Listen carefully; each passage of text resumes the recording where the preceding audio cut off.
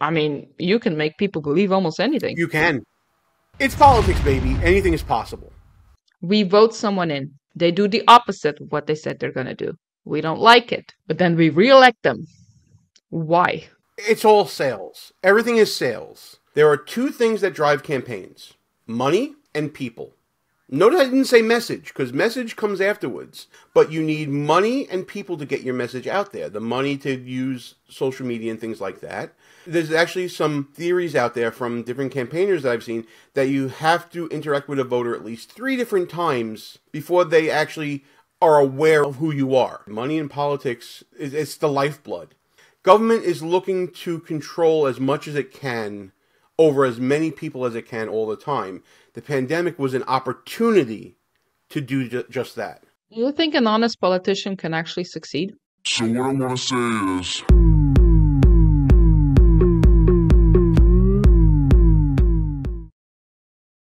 The ways politicians manipulate the masses, you said there's a lot of strategies. Um, I mean, what you described was very similar to how an entrepreneur promotes their product. It's it's it's very similar. You put it out there in people's face because there's also rules that you have to put it in front of the person's face in order for them to be aware of you and your product. And the more you push it, the more well, the more they'll buy. So in grocery stores, what you see is now products that are being pushed the most are the ones who are well, who people buy the most, and you can have a very high quality product at a very cheap price, but it has no marketing. So it's just going to sit there. It's all sales. Everything is sales. Uh, you're selling your positions, you're selling yourself, or if you're selling a product, it's all the same concept. Uh, the tactics that are used in politics is more about selling ideas, selling dreams, selling the person than it is selling a product. A product you can is tangible. It's something that you can see, you, you can interact with, uh, you can inspect yourself on your own time. Politician, not so much, uh, because again, the politician tells you who they are. You can do some investigation. Uh, I know that political parties, at least the political parties around here, should do some vetting. They'll do like a credit search. They'll do a background search. Uh, sometimes they'll talk to friends and references to see if there's any deep dark secrets out there that they need to know about before they endorse you. Um, there are ways of vetting a candidate, but as far as when they're out in the field, it's you know, you have a logo, you have a website, you have a social media presence, you have something that you want to give someone. This time is like I said, an idea, a dream, an aspiration, a concept. It's sales it really is just sales. Um, and there's a reason why they call going door to door and interacting with people retail politicking because you are doing retail sales with citizens. It's it's just pretty sad knowing that someone can have best intentions, but they just don't have the campaign money, so they can't be put in front of your face enough for you to actually vote for or them. they're not marketable enough. They could have the best intentions, They're not marketable. That's right. They can have the best of intentions. They can be absolutely brilliant people, but you put them in front of a camera and they're not appealing, or they freeze up, or you know maybe they're bad with people. You have brilliant, wonky people out there that know everything about every issue that can talk to you about anything, but you put them in front of a group of ten people and they they just don't know what to do. So there is don't discount the marketing the marketability of people as well as being a reason why they run for office. Is something interfering with your happiness or preventing you from achieving your goals? Starting therapy can be hard. The right therapist for you may not be in your area. BetterHelp is now sponsoring this podcast. BetterHelp connects you with a licensed therapist who is trained to listen and give you helpful, unbiased advice. With BetterHelp, you can have your therapy session as a phone call, as a video chat, or even via messaging if you prefer that. If you think you might benefit from therapy, consider BetterHelp. Click the link in the description or visit betterhelp.com slash captainese. Clicking that link helps you support this channel and it also gives you a 10% off your first month of BetterHelp so you can connect with a therapist and see if it helps you. Again, go to betterhelp.com slash Captainese. Clicking that link gives you 10% off your first month of therapy.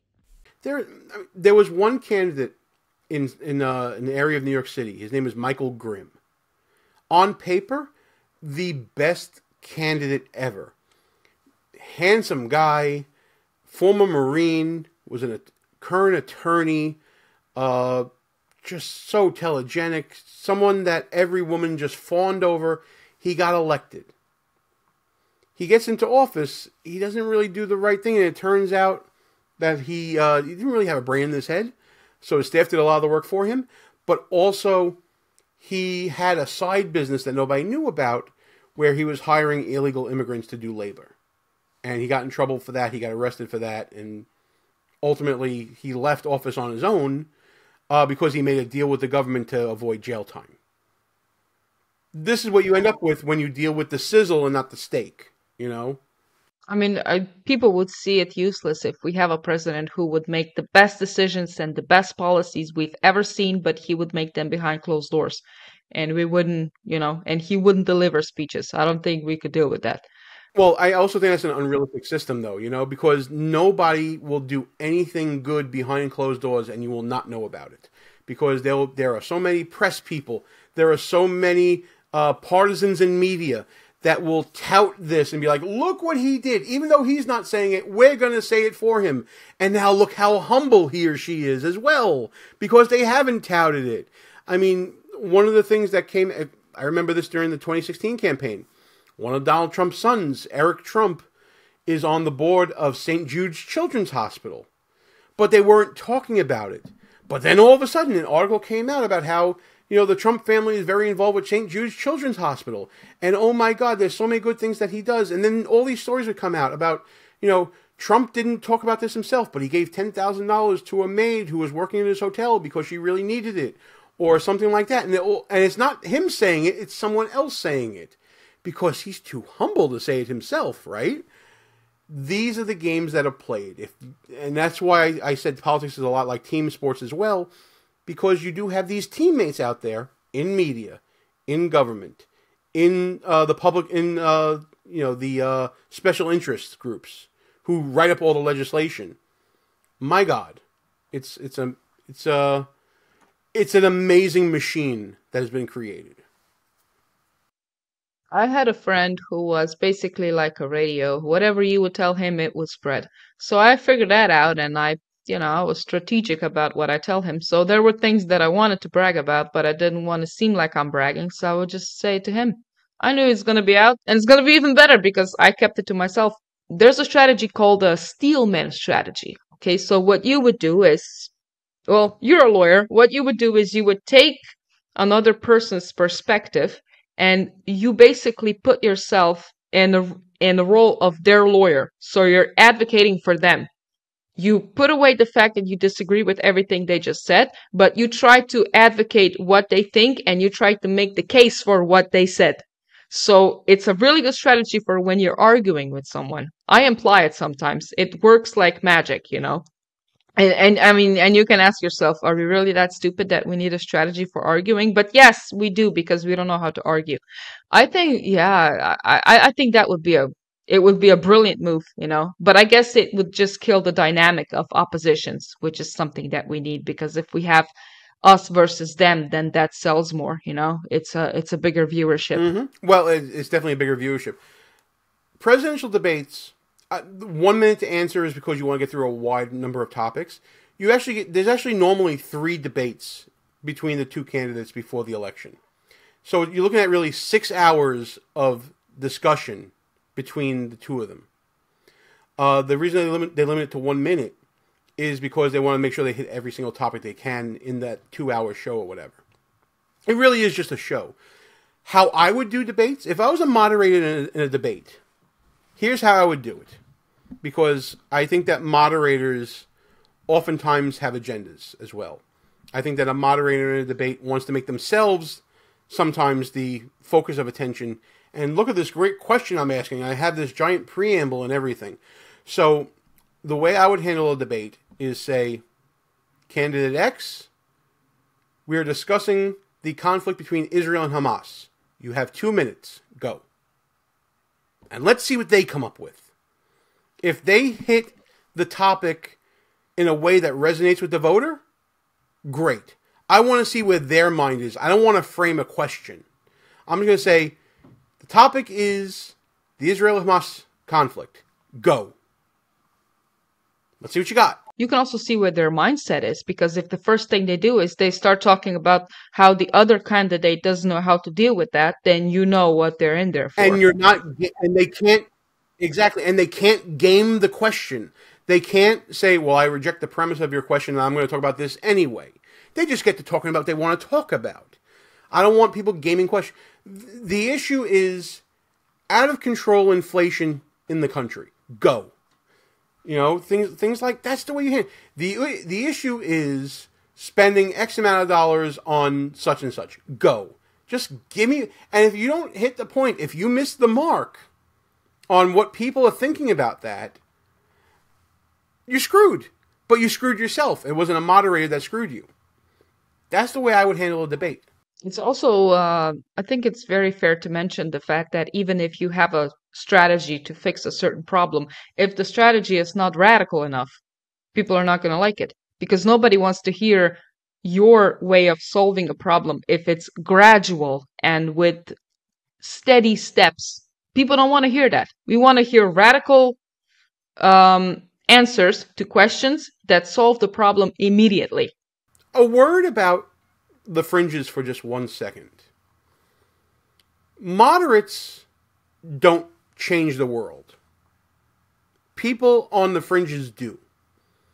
And let's take an example. Let's take someone like an Elon Musk.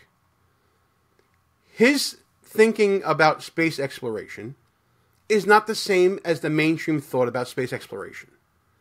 But he put his money where his mouth is, and he's developed innovations where he can now retrieve rockets and have them land back where they started from. That's not something that NASA would have done because they're on the they're the mainstream and just trying to, to do their job. It took someone thinking on the fringes of what is possible to be able to develop what is now reality. When you talk about in politics, it was the fringes that have led to many, many atrocities in government, but it was also the fringes that led to the development of America. Let's be clear the founding fathers of America were not in the mainstream of thought in Britain when it came to the colonies. They were the radicals of having their own representation in government. They were the radicals about having their own self determination and all these high and mighty concepts that hadn't really been in place. They changed the world. So we shouldn't demonize the fringes. There are certainly fringe ideas that should be discarded as, you know, the wretched refuse of history that we've tried and just doesn't work. And we think it's deplorable and all that. But those on the edges also drive innovation and development of society. So they deserve their just due, and everything in life is about a balance. Can we balance those in the middle with those on the fringes and get somewhere where we're moving not necessarily at the speed of light that the fringes may want us move at, but moving fast enough that we can keep everyone else in the mainstream just a little bit nervous about where things are going, but also hopeful about where things are going. Yeah, and it's also about the well, here we go back to intention, right? What is the purpose of you proposing a radical idea? Is it to get views and to get trust of people and for people to love you? Or do you actually believe that this is worth trying? Right. So it's all about the attention, which is really difficult to prove. And that's one of the biggest issues that we have. Mm, a lot of politicians also um, create policies for which there is a lot of umph now and a lot of instant gratification for them and a lot of excitement. But the results are going to show um, allegedly in eight years, which is very convenient for them because you know eight years is exactly the time where you don't have to uh, answer for whatever it is that you know that the the, the result is going to be. Or let's say okay, ten years because then the other guy is going to be in the office for two years, and then you can kind of blame it on him. Uh, so that's strategic. But let's say we vote someone in. This is um, the case in my country We vote someone in. They do the opposite of what they said they're going to do. We don't like it. But then we re-elect them. Why? Oh, because it's comfortable. Because it's easier to grin and bear it than it is to create change. The power of incumbency of office is very, very strong. Uh, let me give you an example locally here. So you elect someone in, in office, and let's say it's a local, like a state legislature or something like that. You will then get mail from them saying all the good things that they're doing. You don't really care about it, but you know they're keeping you updated. Hey, we built a park here. Hey, we, we brought back this money for this program here. Uh, these kids are getting this in this school here, and all that. But maybe that's not what you intended them to vote for or anything like that, but they're letting you know what's going on.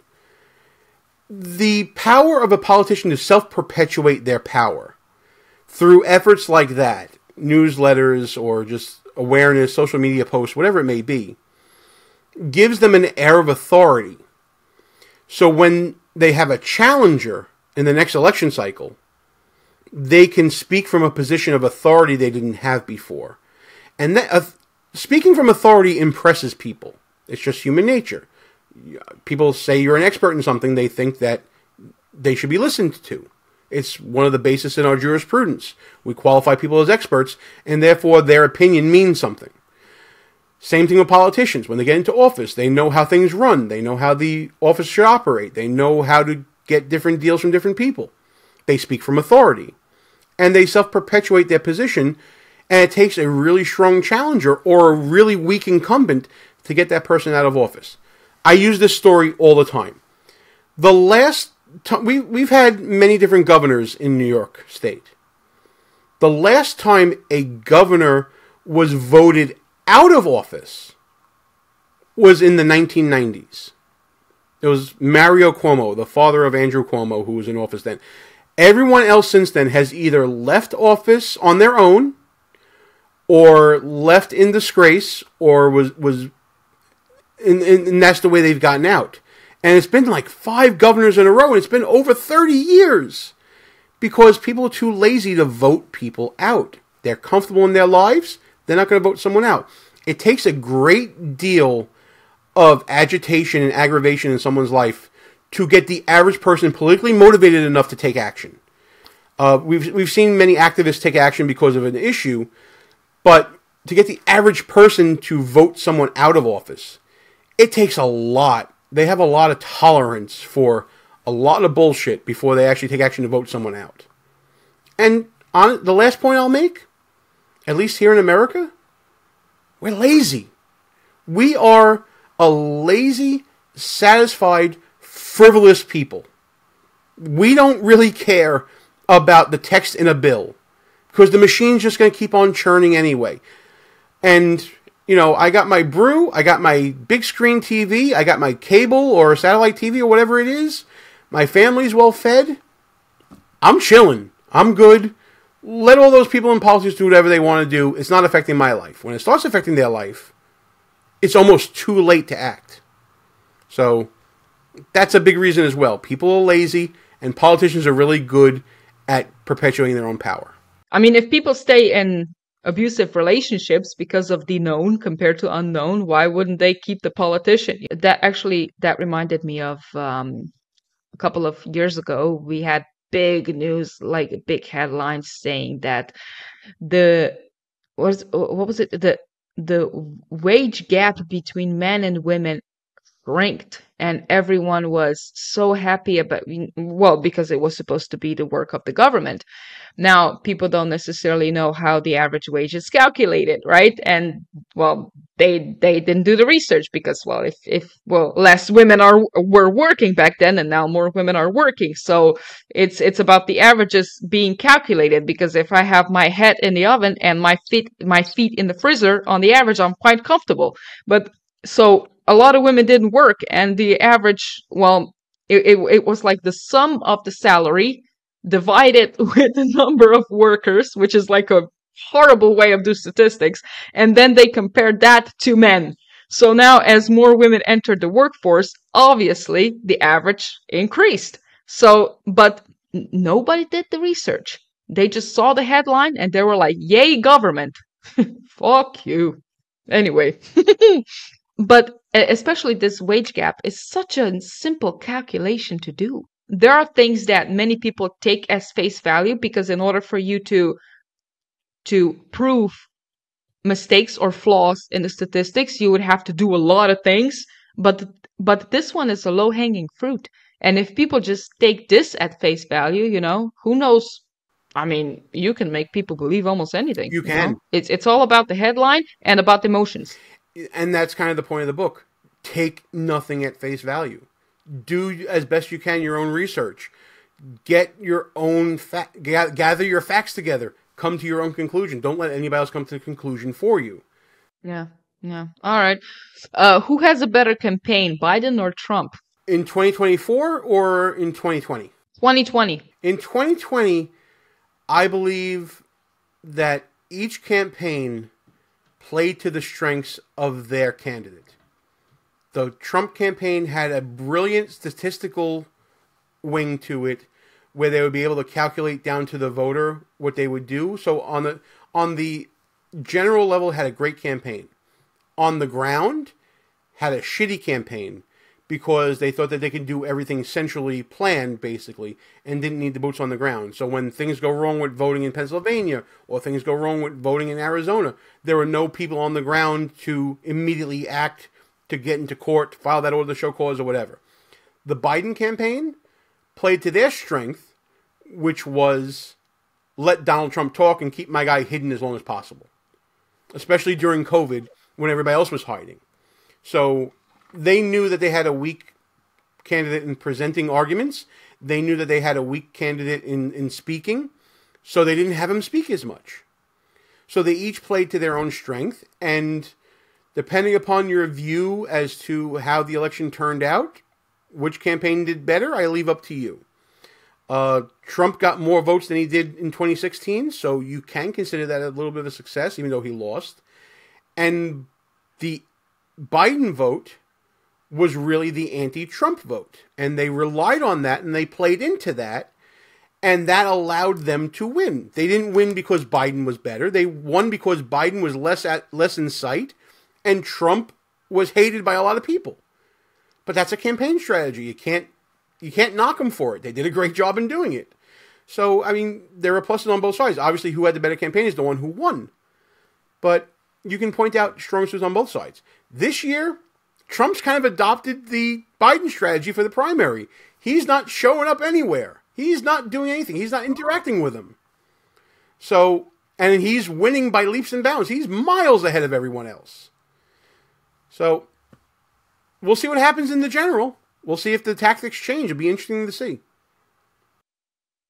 Yeah. Besides, like the current situation really impacts on the things we remember. Because if the current guy did some bad things, then subconsciously we will remember positive things Trump did more than the negatives of what he did.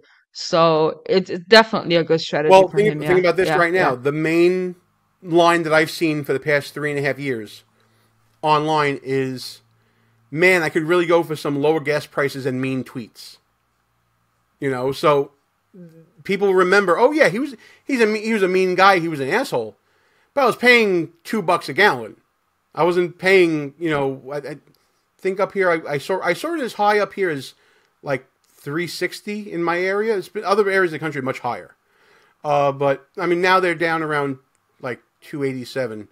But um, yeah, when gas prices were like a dollar 88 when he left office, people are highlighting that all the time. Boy, I used to like buying a dozen eggs when there were mean tweets around, and you know, boy, I had a full gas tank when mean tweets were around, and wow, I didn't have this much inflation when when he was around. Even though some could argue that Trump's spending kind of left this inflation bomb for everyone to deal with. You know, people don't like to talk about that, but it's definitely out there. It's politics, baby. Anything is possible. Right.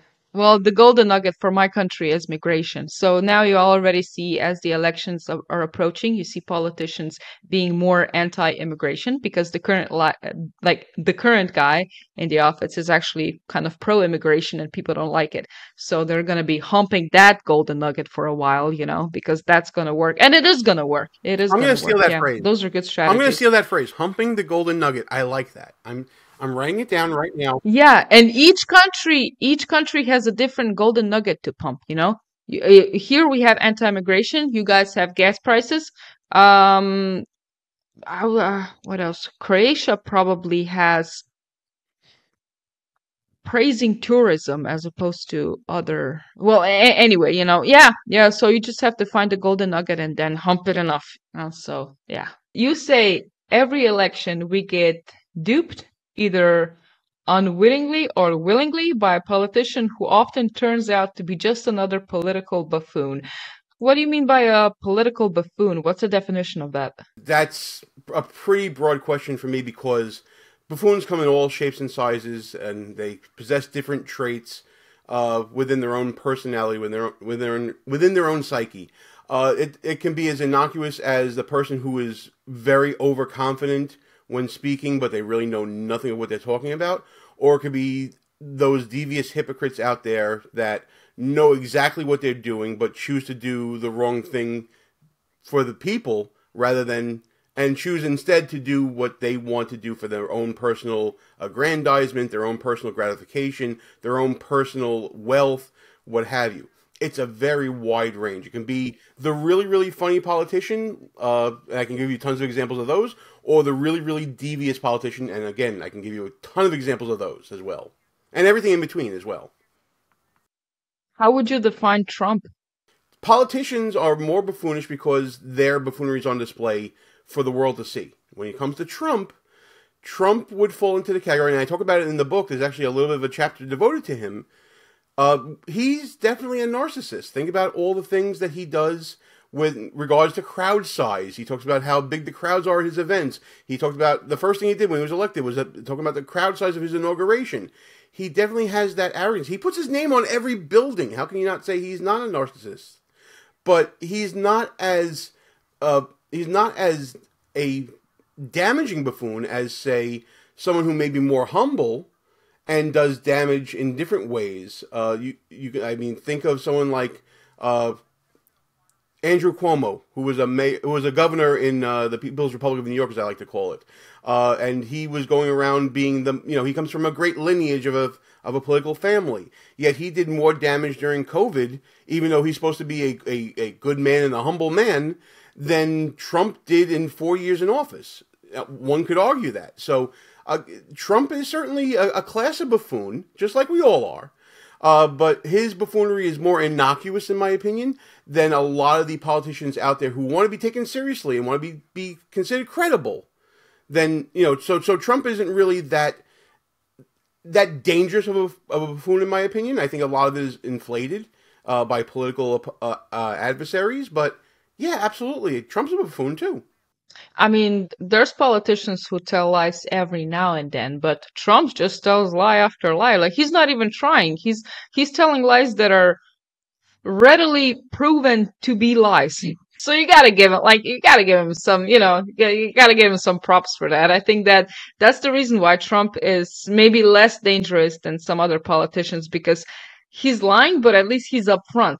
That's why I think, you know, uh, uh, communism is more detrimental to fascism because fascists want to kill you, but at least you know they want to. No, with communism, like you think they actually want the best for you. So, and you know, you said every one of us is a little bit of a buffoon. Yeah, that's true. You know, it's human nature is to manipulate. I mean, we start manipulating and deceiving, I would say, at the age of not even one, maybe six months. Up until six months, whenever you cry, you, you actually need something. You're either hungry or whatever. But then after six months, ah, this is where we start uh, suffering our intelligence. We also have this intrinsic need and expectation for people to not lie to us. You have some, well, you have some people saying, well, I, I don't care if, if someone lies to me. I don't like, I'm, I'm not surprised by people anymore. But subconsciously, you do expect that because let's say you have three cavemen and one of them said, "Watch out, there's a bear behind the tree." And the other one started running, and then the second one wanted to make sure and analyze the situation. Well, only one of them got to pass on their genes, right? So, um, why though are we as nations susceptible to manipulation from the politicians? Why do we always fall for the same trick? I'm not a doctor. Let me start off by saying that. And I, I tend to agree with you that we are people who learn that the squeaky wheel gets the grease, right? When we're young and you cry, you, you definitely get that attention.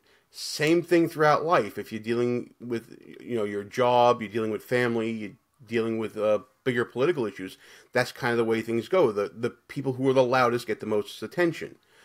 That said, the people who promise you the most also get the most attention. The people who placate your interest and your needs get the most attention. And I think that in general, and this may be a, a bigger point about human nature, people are eternally hopeful that they are going to succeed in the end. There is this uh, idea that okay, things didn't go for me so well with this politician. I didn't get everything I wanted, but the next one's going to do what I want or the next one after that. And there's this eternal hope that hey this new guy who's selling me his his his stuff now is going to be the one that's going to do right by me. And i think that's why trump is so appealable to so many people because for a lot of people he followed through on what he said he was going to do while in office. But i think the larger question of why we keep falling for buffoon after buffoon is because we're aspirational in nature that we we think that we're eventually going to get there and I I firmly believe that we will eventually someday once people get their act together. But the way that you get there is not by buying the bullshit from someone. It's by trusting and verifying the bullshit. Find out who the person is, see if they actually deliver in life, see their track record, their personal performance, and really become a discerning person. The way that you overcome people lying to you or any other hypocritical behavior is by you yourself taking personal responsibility and being more discerning when judging someone who's going to have such an impact on your life. People don't take their vote seriously nowadays, especially here in the United States. They because we are we're victims of our own success in a way, in that we live very comfortable lives. We have too many things and gadgets and, and too many distractions in our life that we can let it slide that someone is uh, kind of coming to office, and yeah, they're going to do some things that are bad, and they're going to do some things that are good, and we're going to end up being okay in the end because the machine just keeps on turning. Well, we got to stop looking at it that way and start looking at, well, the machine may be turning, but it's not turning at peak efficiency. Maybe we start becoming more discerning in who we put into office, and we'll let less of those people in, and maybe things will get a little bit better, and all those aspirations will start becoming more of a reality. I mean, there's also something to say about the fact that it's just a lot simpler to just complain all the time. And I've said that before in, well, this generation, we gladly uh, exchange integrity and responsibility for victimhood. And also, there's something to say about the fact that it's actually really time consuming to do a research. It, it, takes a lot of effort. And uh, and people avoid talking politics altogether which by the way i think it's it's it's very irresponsible of people to not be interested in politics. And a lot of times especially young people they seem to be proud to avoid politics discussion. And i'm thinking how can you avoid such an important topic? Like it's it's following you on a daily. Does it not um affect how much money you make, how much money you you, you make after taxes, which laws you have to obey. I think not discussing politics is is I mean it's one thing to not be interested in politics, but I think a certain level of analysis on your part is I I think it sh- it should be fundamental. Honestly, I was like if if it was up to me, I would make it an obligation for each voter to at least know what the program of the candidate is about. Um, maybe that's a radical statement, but I think that it's it's just an obligation, honestly. Um, and by the way, there are webinars out there for people entering politics then that train them how to win elections. One of them is on YouTube, actually. I, I think it's led by Jay Townsend.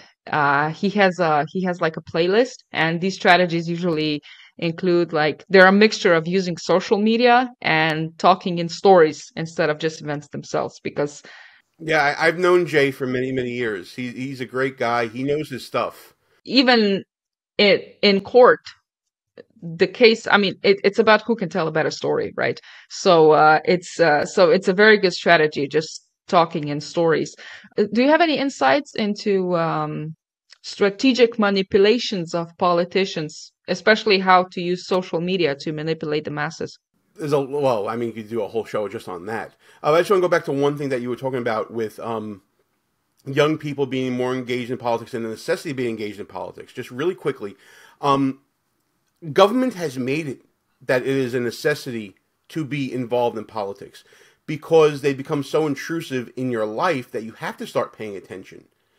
Uh, and maybe that's just the conservative in me coming out, but I think that because government becomes more and more intrusive into, uh, you know, what you eat, what you drink, and things of that that nature, to the point of intrusiveness, there's a certain point where I think it goes over the line. Like we we had a, a mayor in New York City wanting to ban sugary drinks for cer- for uh, certain people back in the day, and the court struck that down as being too overreaching.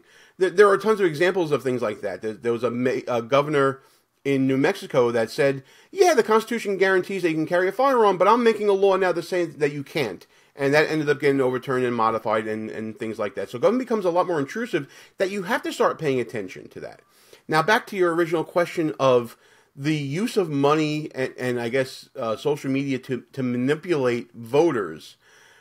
When you run a campaign, and I've run a couple of campaigns, a couple of successful ones as well, there are two things that drive campaigns money and people. Notice I didn't say message because message comes afterwards. Uh, the the per, the candidate is who the candidate is, but you need money and people to get your message out there. The money to use social media and things like that, and the people to be out there in the streets with the signs and and you know talking to other people and creating a buzz. Social media is good for that as well. I'm a little more old school when it comes to campaigning because I deal in a lot more local campaigns than I have in national campaigns. It's two different games. On the local campaigns, it is about reaching as many people as possible through the mail, through uh, phone banking, and uh, through just even getting out to different local events and meeting people, getting your name out there. You have to touch. There's actually some some theories out there from different campaigners that I've seen that you have to interact with a voter at least three different times. It Doesn't matter how many ways, but three different times before election day, before they actually are aware of who of who you are. Uh, so a mail, a phone bank, even though they're annoying, those robocalls are annoying as hell, but they, they are effective, believe it or not. And personal interaction are very helpful. And you can only do those things if you can pay for them. So you need that donor base as well to be able to get that message amplified and, and out into whatever your district size is. When it comes to the national level, and you know, I haven't really worked on many national campaigns at that high a level to know all this, but I've seen that your message is all about the virality of your campaign, getting it out there to as many people as as often as possible. We've seen Vivek Ramaswamy do that with media. We've seen Trump do that with social media and, and different postings. Uh, we've seen it uh, with uh, videos that people put out. Every campaign and every candidate now has a YouTube channel. This was not the way things were done many, many years ago because the amplification of the message was about getting on TV and getting on radio and other mass media. And the new opportunities of creating these videos means that money is going to explode as well. You have to buy the equipment. You have to get people online to do these things. And we've seen this explosion of not only the 24 7 news cycle messaging, but the money out there. So these things have become necessities for amplification of message. As far as what the message is and the manipulation of it and what the positions are, man, you got an hour? I mean, we can just talk about uh, the different methods that people use, but really it comes down to what the candidate has to say and sort of their reason for being, right? So if you remember Joe Biden, he said his reason for being was the uh, Charlottesville uh, protests, and that was the reason why he got into office. I don't believe it for a minute, but that's what got his people rallied to, to vote. That's what got him started. Uh, Trump's reason for being, if you remember back in 2016, is that he was worried about, you know, China and he was worried about the Mexican border and they build a wall and that was his first message. That is what rallied his people. So whatever resonates is what they're going to go with.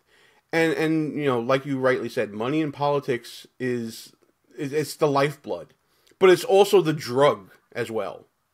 Well, it depends on the state that the country that the nation is in because if people are fearful, then they're going to be a lot more susceptible to conservative beliefs. Is that not the case? I mean, this is why this is why it was a lot very well, easy for Hitler to to get the lead because well because there was crisis everywhere.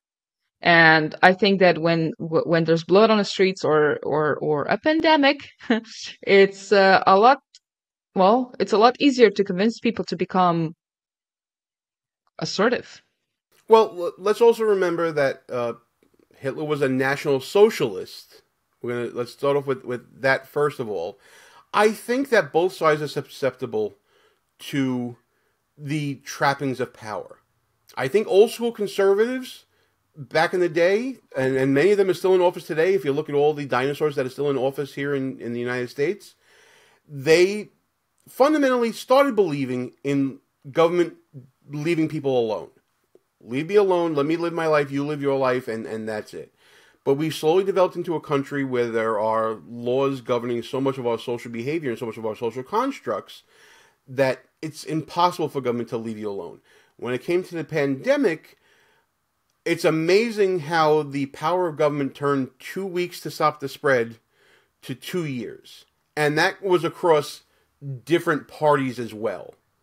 So you know, it was the the Trump administration starting that message. It was the Biden administration eh, turning that message much more loud in amplification when it came to different uh, jabs that you had to get and and things like that. So I would say that both sides have the trappings of uh, dictatorial behavior or or you know totalitarian behavior. They it can be that way if left unchecked, which is why I'm lucky living in a country where we have sort of a self-checking system where ordinary citizens can challenge the constitutionality of laws and actions, that we're able to initiate government processes through the court system that can reach its way all the way up to the Supreme Court and be dealt with on that high of a level, that we do have these checks and balances here. Um, but your, your point is well taken that government has become so big that they're looking to really take government is looking to control as much as it can over as many people as it can all the time. The pandemic was an opportunity to do ju- just that. Well, we took China as an example and we kind of implemented some of the policies that shouldn't be implemented. Maybe this is the first time some of these leaders actually found out how good it tastes to uh, control uh, your citizens. That was the first time that they got the taste of what is it like to have that type of control, and they were like, "Hmm, that's not so bad." I mean, that feels pretty good. What what's the old saying? Uh, power uh, power corrupts, and absolute power corrupts absolutely. I, I think a lot of people, a lot of our friends in Australia, got a really really bad taste of that. Uh, with stories about being locked up in, in different camps during the pandemic. Uh, it thankfully didn't get that bad here in, in the United States, but it got bad all over and yeah, people in power got a taste of more absolute power, and it has that corrupting effect. Do you think it's in their interest to uh, polarize the nation? Because, especially in the last few years, I hear people say Americans are as polarized as ever. I don't know if it's true. What's your take? Listen, this is a country that fought a civil war. So, if you want to talk about the most polarizing times, I would probably say it was back then rather than now. Um, but it's it's getting there. I mean, we haven't really we we're not seeing states take up arms against each other. We are seeing states, you know, bust illegal immigrants across state borders, and that's causing a little bit of a problem. Um, but I don't think it's the most polarizing time. It certainly is a polarizing time, and uh, that allows for the fringes of both sides to get more of a voice and try to move policy. Um, but yeah, I mean, I think a I think healthy governments go through times of tumultuous change, maybe not to the point of you know civil war and things like that, but if you go through a little bit of uncomfortable feeling, I think that's healthy now and then because that helps you reevaluate your position. I'm a firm believer in iron sharpens iron. I think there are good ideas on both sides of the aisle that if that need to get out there more and get out from the screaming of the fringes. Uh, so I think that yes, this is a time of I wouldn't say great conflict, but definitely tense conversations that need to be confronted. And I think once we get through those conversations, we come out stronger on the other side.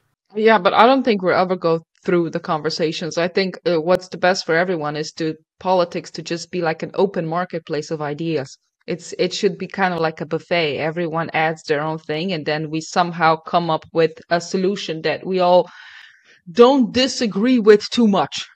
I think if you know that your opinion is just that, then things are not going to escalate. I think the problem is that we have different realities and we confuse the two. Your opinion is not a reality. So, so this knowledge actually made me more articulate when discussing problems with people because I became conscious of this fact. And instead of saying, for example, this policy will hurt the economy, now I say, I think, or I believe, or in my opinion, this policy will hurt the economy because that allows me to have discussions with people I disagree with uh, because well they cannot negate it. How are you going to negate the fact that i believe something? You know what i mean? So it's uh, it's it's really important to have this distinction between what's your opinion and what's an actual reality.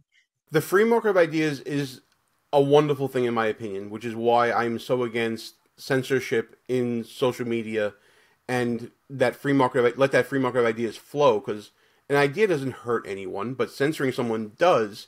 That makes them more entrenched in their position, makes them more radical, right? One of the things I learned as an attorney uh, in practice in, in civil litigation is that the best negotiation, the best outcome, is one that no one is happy with. That's the one where you get the most from your adversary that you can while understanding the weaknesses of your own argument. And you may not always get what you want. But if you negotiate and you recognize, okay, so these are the flaws in my case. I can't argue A, B, C, and D because of these facts that are on the record. The other side does the same thing. They do their own self evaluation. These are the flaws in my arguments. And then you come together and you say, okay, so what is the solution that we can both be comfortable with here? We've lost that in the tribalism that we just talked about earlier. We've lost this idea that compromise is now somehow a bad thing. Compromise is not a bad thing. Compromise is how you get shit done. Do you think an honest politician can actually succeed? Hmm. On what level? On on a local level? Absolutely. I think that there isn't as much attention paid by partisans on a local level. There is no Republican or Democrat or socialist or libertarian way to collect garbage. You just collect the garbage. There is no liberal or Democrat or Republican or any way to put out a fire. There's a base level where I think everybody would agree with that. So on a local level, yes, you can have honest politicians. When you get up to, let's say, congressional, you get to Congress, you get to any state legislature, now you're playing gang warfare. Now it's, you know, it's my side wearing my colors versus your side wearing your colors. And this is where honest people who get into politics for the right reasons start feeling themselves become compromised because maybe they don't want to work for a certain issue that they don't necessarily agree with. Maybe a social conservative issue like, uh, you know, some issues with healthcare that you don't want to mess with because you're not necessarily social conservative. But because you're in a coalition with social conservatives, you go along with it, even though you may not personally believe it. That the gang warfare politics, the partisan uh, battle here, is what ends up corrupting people because that allows an otherwise honest politician to start compromising on their own personal beliefs that they said that they represent when they were first elected. And they then start have to doing what I used to call what I call in the book the agenda gymnastics of twisting and contorting your way to get to an end goal rather than sticking to your own personal credibility, your own professional credibility. You end up using that personal capital to say, okay, well, well, this time I'm doing this because, and there's some reasons. So you lose a little bit of personal credibility. But what happens when you use up all of your personal credibility and all you care about is the end goal of your tribal side? That's when a politician truly becomes sort of irredeemable, in my opinion, and they lose that that sight of what got them there in the first place. And when you start losing sight of yourself and your own personal credibility, you're definitely going to lose sight of the interests and needs of the people that you represent. So it just becomes this cycle that starts off with a tribal approach to politics, in my opinion. And it's also very difficult to pinpoint when you start losing it. Well, I became conscious of the little white lies that I that I'd tell throughout the day. You know, I didn't have time.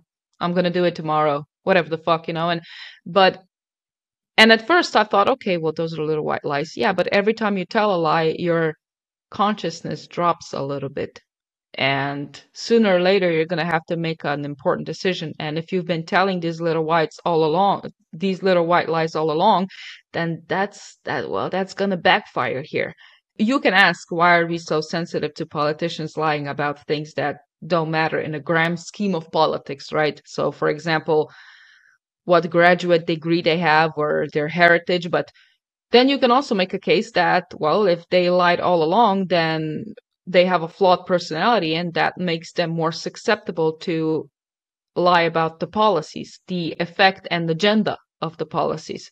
What's your take on making it illegal for politicians to lie? Well, how, how can you do that? You're to have a thought police out there patrolling everything that people say? It, it's, it's not feasible. But, but you did bring the example you were just talking about is what New Yorkers have been dealing with with a politician named George Santos. I don't know if you've heard much about him, but he was a member of Congress who was just recently expelled because of exactly what you were talking about.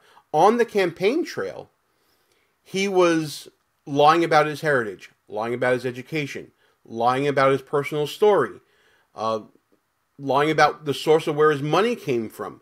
Uh, he ultimately ended up getting charged with uh, federal crimes, including uh, uh, scamming Republicans, his own people, out of money, misrepresenting what his wealth was to the uh, Federal Elections Commission that monitors campaign finance.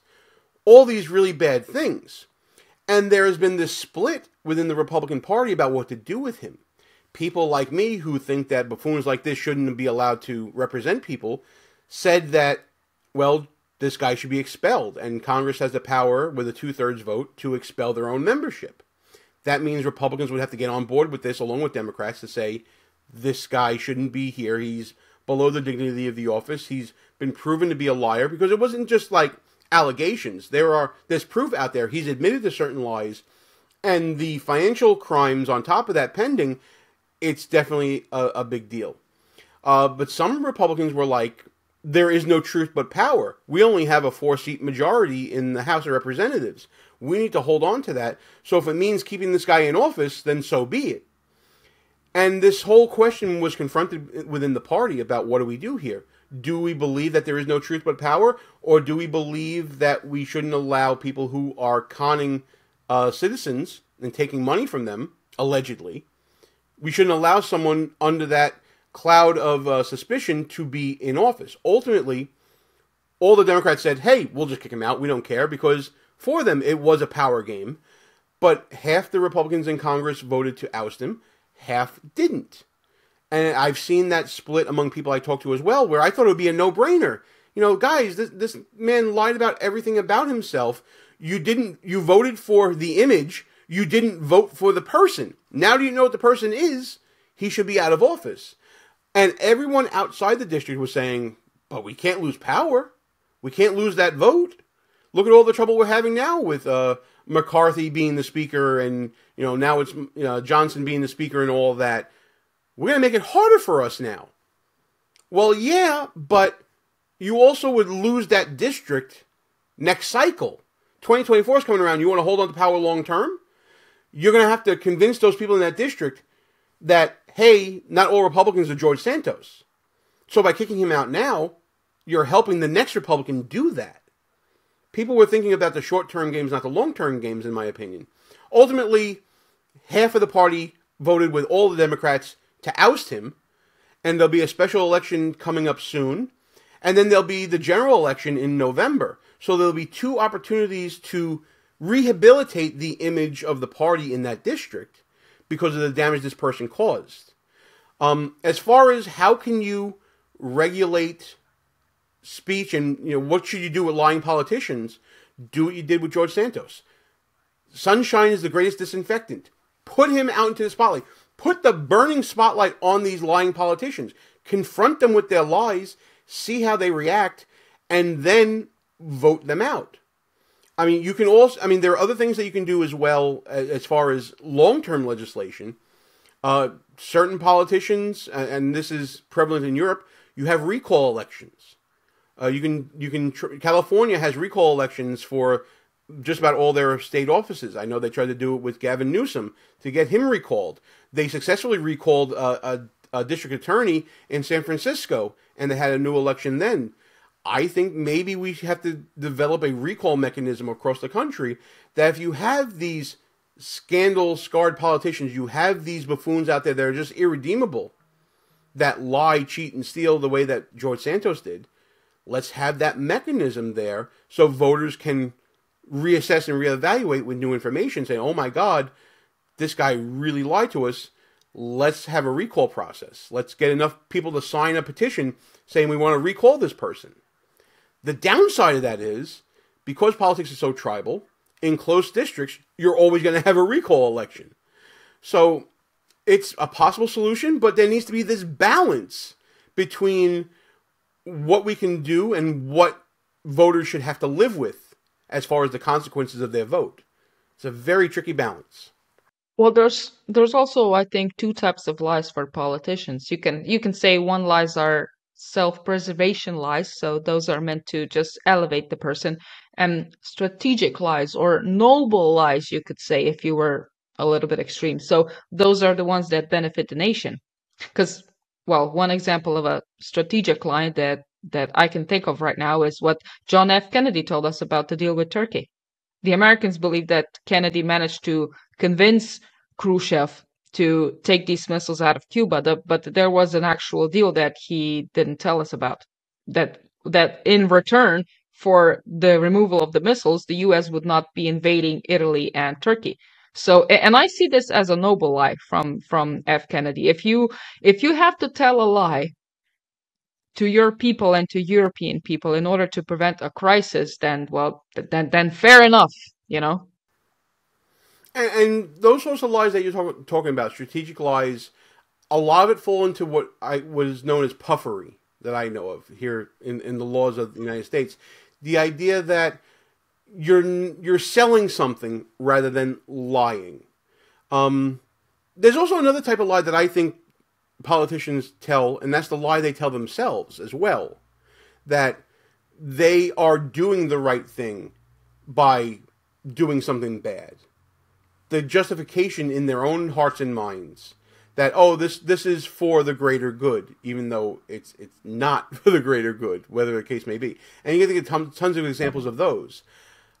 Those lies that are puffery that the used car salesman does to really get you to buy that car and all that those are the lies that i think society can live with. Because those are the lies that people should be able to see through if they put a little effort into it. It's the lies that are much bigger than that. Um, that you know the the politician that has this second family in another state. Um, those are the lies that we can't deal with. Uh, and believe it or not, that happened in New York as well. New York is full of these sorts of buffoonish politicians. It's absolutely crazy when you look at it. Um, and then it's also the the the lies that make you uh, slam your head on a desk. Uh, that can't be tolerated as well. There was one politician in New York who was charged with bribery, beat the charges, and then got recorded by an FBI agent soliciting bribes to pay the lawyer who just got him off the bribery charges. True story.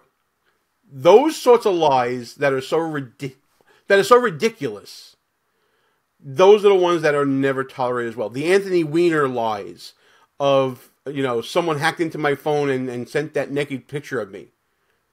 Those are the ones that can't be tolerated, the ones that strain credulity. And those are the ones that get people in trouble more often than not. But it's also not the lie that gets people in trouble. It's the lie after the lie, the cover up of the lie, that really sinks politicians. And you can think of every politician out there. It's not so much you know, many of the scandal scarred ones. It's not the the act, the bad act that happened. We talk about lies, but there's also bad acts that happen as well. It's not the bad act that will get someone in trouble. It's the cover up of the bad act, the lying about the bad act, that really sinks them. Uh, so there, there's that component of it as well, and it all comes down to for everyone, whether you're a politician, citizen, whatever. It all comes down to this idea of holding yourself accountable, having your own personal responsibility to act right in office, or to put in the work to learn about the people in office that are representing you. If everyone took personal responsibility over themselves, we wouldn't have nearly as many problems with politicians as we do today. Yeah. I, I think it, it's it would be fair to kind of lower the bar for politicians and just have um just vote them out in case they lie deliberately and not having them well and not expecting them to tell the truth because what do you know what the truth is you know i mean it's important to mention that it's almost impossible to define the truth in order for for politicians to tell the truth they would have to dissect everything they say and dive deep into each sentence to eliminate any subjective perspectives they have, right? Because that's their own reality. Uh, there's actually a very good exercise, by the way, that I think even the audience can practice on a daily basis. Um, it well, it helps you see how much of what you believe is true is actually just a figment of your imagination. And our imagination because we're very intelligent beings is is rampant. So i'm going to give you an example. Let's say i park at a parking spot. A stranger passes by as i'm leaving the parking spot and they tell me hey you shouldn't park here okay now from this moment on the possibilities for my imagination are wide open and the story i derive from this event can be a total fantasy Okay, let's take my stepdad, for example. Okay, let's take him. He's Bosnian. He's living in Slovenia, so he's a little bit self conscious about the fact that he's Bosnian because we know Slovenians don't like immigrants. So, what he can derive from this event, which is a simple event, is first of all, the person told me that I couldn't park here. The person doesn't like me. Okay, the person is hostile towards me. He doesn't like me because I'm Bosnian. He's discriminating and he insulted me because I'm a Bosnian. Now, only a fraction of that is facts. The rest is a story that aligns with his beliefs about the society and the world. Okay. And now we do that on a daily basis, mostly subconsciously. A fraction of that is conscious. And I think just revealing this is a good exercise. A good exercise is, I would call it story dissecting. So throughout your day, you can choose events. If they include strangers, that's even better because that gives your imagination uh, more doors to open, right? And you can dissect these stories by eliminating things that you cannot prove to yourself to be facts. And I think you can do it, well, not every day, that's for sure, because your life is going to become too chaotic because you need a story and you need a belief. And I, I, I'm not sure if I'm stepping the line, but I think that you can also take this to a level of marginalized groups as well. So, how much of claim discrimination is deliberate insults, and how much is their perception of what happened, which is impacted by their reality? Um, you know, one thing I've learned, one thing I've learned in working in real estate for the last couple of months is that everyone has their own little reality. My reality is not your reality. So so it's it's it's so it's almost impossible to tell the truth but you can make an effort to not tell deliberate lies. Try being a lawyer one day and dealing with clients and you really see about personal narratives and things like that. My goodness. Previous experiences are a barrier to truth. Absolutely absolutely experience is one of the barriers to innovation right because if you're experienced you do the same thing over and over again and you become comfortable in doing that over and over again. Uh, and you you lose sight of any other possibilities that may be better than what you've done over and over again. In the law, before I started practicing, everyone was in a library working with books and going from you know one uh, book that would help you find what they call a KeyCite to another book finding the case to another book checking that case to see if it's still good law. Now we you know for decades now we've had computers, but I still know attorneys who go to the stacks, who go to the books, because even though it's more efficient to have it all on your computer and type in some key phrases and do your Boolean search and all those things that you can do, they still go to the books because that's what they're comfortable with. That's their experience. And they're very expert attorneys, but they'll go to the stacks. That's kind of what I'm talking about here how experience can be a barrier to truth. And, and in the same way that government does things over and over again the same way, and that's the way that we're comfortable with. But if there's a better innovation out there, it's going to take years before government becomes comfortable with it to actually adopt it into their policy. I would go one step further and say that known territory is enslavement.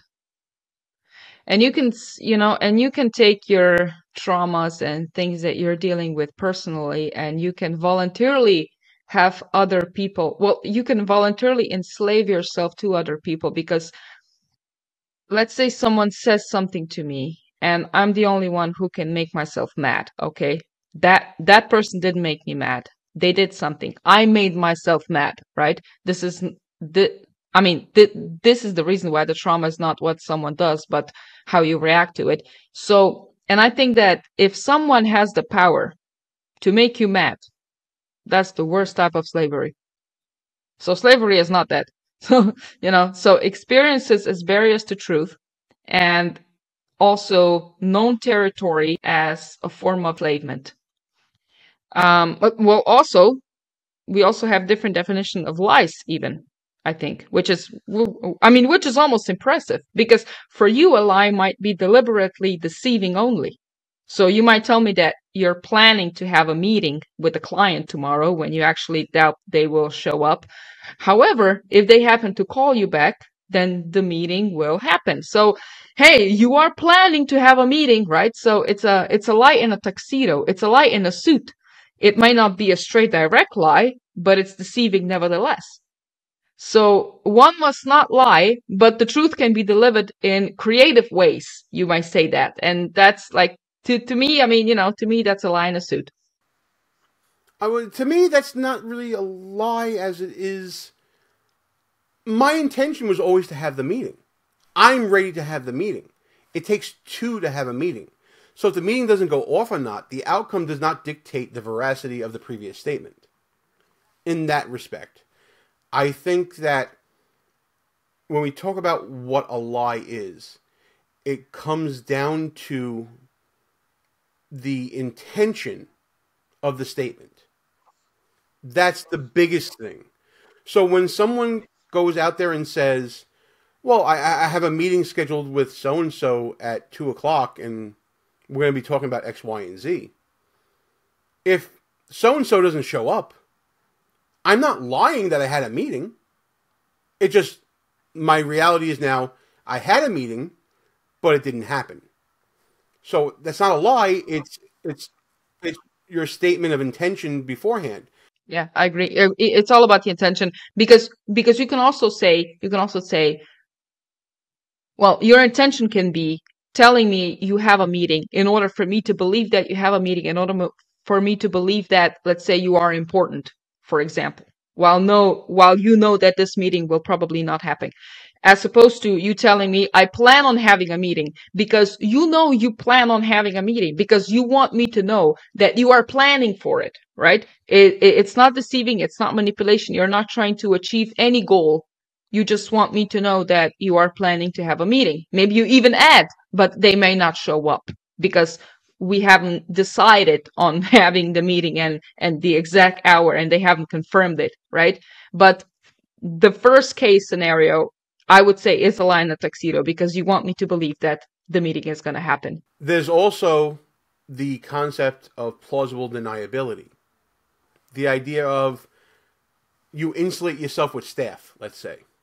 You have a scheduler, you have a secretary assistant, you have a, a chief of staff in your office, something things like that. You put barriers between the direct line of communication. The secretary, and the receptionist answers the phone, they put you on hold you go to a staffer who deals with that issue. They set up whatever conversation they want to have. Or if it's more personal, you're at a meeting in the community and people want to talk to you, but your staff is around you saying, no, no, we can't talk right now. We got to take him over here or we got to take her over here, whatever the case may be. and you know we, we can't stay and talk and and maybe you could have maybe you even wanted to but your staff took that initiative to insulate around you and maybe the staff is saying a little white lie about where you're going as well it's so many different layers out there that we can talk about that and, and the thing about it is you'll never get a hard and fast rule about how to deal with it.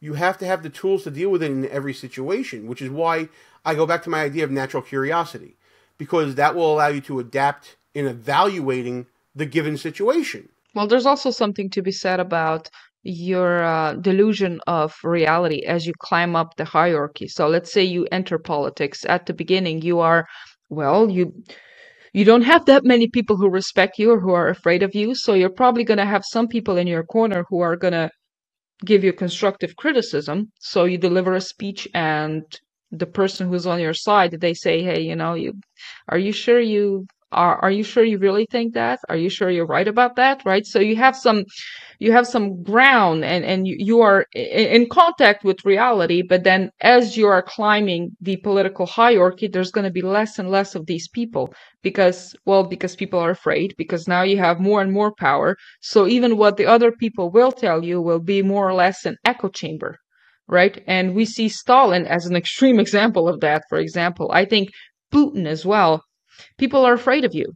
So I think the way to keep yourself grounded is by talking to other people because well they have information you don't have you know when you when your own opinion is the only thing you have then you're not very realistic and that's also yeah, it's it's also something to be said about that. I think it's very beneficial as well, not just as a president, but as any type of person who thinks they will be at a high position at some point to keep someone on your side and just just tell them, look, whatever happens, whoever I become, whatever power I have, it's your job to keep me grounded. now, you may want to have three people like that because, you know, be, because they're susceptible to that as well. But I think that's yeah, that's one of the things. You know, a lot of these people are. I, I think I think Trump is. I mean, has that situation a little bit. You know, he's a may, maybe a narcissistic to a degree, and everything he hears is like. I mean, his opinion is like throwing stuff in a mirror. It's people tell you what you want them to tell you. It's you know, it's it's it's useless. It's also a great compliment. It's a it's an honor to have someone who expects something from you and who who tells you who disagrees with you and criticizes you because it's expectation you cannot expect something from someone if you believe they're incapable of it so to speak. So the higher the bar they have the more they criticize you the higher well the the bigger their expectations for you. Because i have my grandmother for example she expects nothing from me because she thinks i'm perfect. And to me this is this is it's well it, it it's it's a tragedy in a way because I need you to tell me when I'm wrong and I need you to expect more of me. Actually, I want you to because to me that's respect. And do you think that well, do you think that most of us if we were capable of having absolute power would become um not necessarily would become excited Assholes? about having the yeah yeah Yeah, I, I think that to some degree, if we don't have that external check, yeah, we will become assholes with with that. I mean, we, the the phrase "drunk with power" is around for a reason. yeah well you have to be rational about it because you can ask yourself if i was to become a leader of a country which system would i prefer the system where i have the ultimate power where i'm the one who decides on everything or the system where there's checks and balances so a system where there's institutions which i have to um, by which laws I have to abide and uh, limit myself. And that that that takes humility and rationality because you I mean I don't know like at first glance well fuck it I would want all the power. I I trust myself enough to do the best for the nation, right? So uh, all, the power. I'm not corrupted. Give me all the power. Fuck it, you know? I don't need no institutions. Well, I mean, I, I would vote for you too, but um, so what what I would do? I mean, the, the thing of it all is, nobody has all the answers, but it takes someone with a little bit of humility to say that. It doesn't take a lot of humility to say that. Um, it takes a little bit of humility. By the time you get to the point of ultimate power, let's say, I would think that there would be intermittent steps along the way of little power, gaining power, gaining power, gaining power. And unless you keep that humility from when you got that first taste of that, you know, little commissioner job that you had in your town to when you get to supreme rule of the world. Where can people find you? Okay, so the best way to find me is uh, I have a YouTube channel called Buffoon of the Week. You can check me out there. I put up videos Monday through Thursdays at 10 a.m. Eastern Time, uh, so you can check me out there. I am on uh, Twitter or X, whatever you want to call it, at G Berardelli. It's G B E R A R D E L L I. And you can also find my book, Schnooks, Crooks, Lies, and Scoundrels, a field guide to identifying political buffoons, at book.buffoonoftheweek.com. Go buy it at Amazon, Barnes & Noble, all fine bookstores. Check it out. I put a lot of my heart and soul into this. It's a lot of fun. I think it's a fun read, and I hope you check it out. And thank you so much for this conversation. This has been tremendous. I love stuff like this. Awesome. Thanks so much for coming on. I Can't say that, but I do know this.